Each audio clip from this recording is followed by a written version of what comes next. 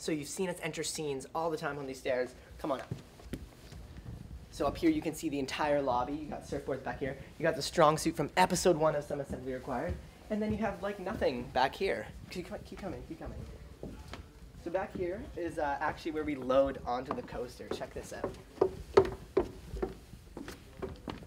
So whenever we enter on the roller coaster, this is where it stops, and we come right up here and we get into the coaster, and that's where we start our scenes.